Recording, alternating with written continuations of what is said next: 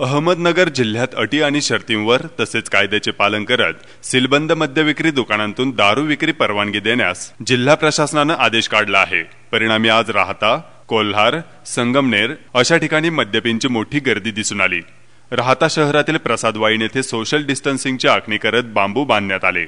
तसेच आज सकाळी वाईनशॉप जवळ गर्दी होऊ नये यासाठी टोकन पद्धत राबवणार असल्याचं सांगण्यात आलं. मात्र काही कारणामुळे प्रसाद वाईन उघडले नाही आणि त्यामुळे मद्यपींच्या पदरी निराशा पडली आहे तर संगमनेर शहरात दारू विकत घेण्यासाठी मोठी रांग दिसून आली आहे शहरातील रस्त्यावर सोशल डिस्टन्सिंगचे पालन करत मद्यपींनी रांग केली होती. ही रांग कमालीची मोठी होती.